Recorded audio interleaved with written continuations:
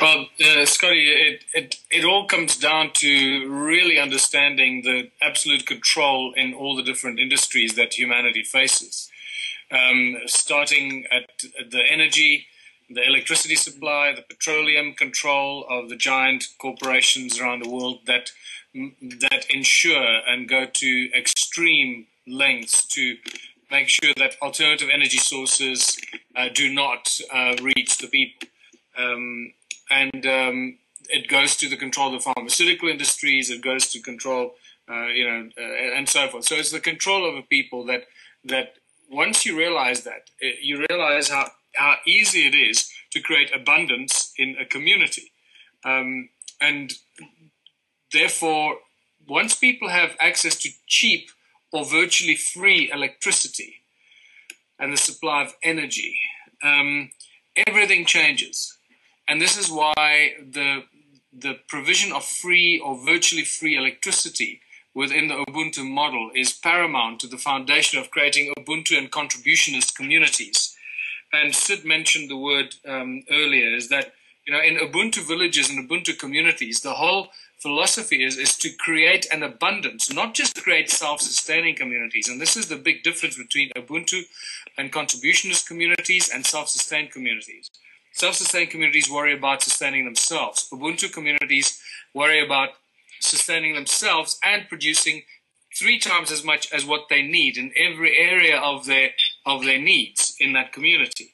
So they'll create in our community, we'll create three times as much fish as we need in the fish farm that's now currently standing empty and deserted. Um, we'll create three times as much butter and bread and milk and and vegetables and and whatever it is, building materials. And why can we do that? We can do that because we are providing the people of the community with a cheap or a virtually free source of electricity. Once that flow of electricity is going, and uh, you then use that as leverage for the people to say, right, everybody is going to get free or virtually free electricity, but in return for that, get, receiving that electricity, you have to contribute three hours or five or six hours, whatever it is, a week. But it's a small amount. Three, let's stick with three hours. Three hours a week towards one of the community projects of your choice, whether it's working in the bakery or planting seedlings or breeding fish or making butter uh, or if you're a chemical engineer working in the sewage, trying to figure out different ways of dealing with sewage disposal. And the interesting thing is that if you've got a community of a thousand people, uh, suddenly you have 3,000 hours a week of people contributing their skills towards uh, these various diverse community projects.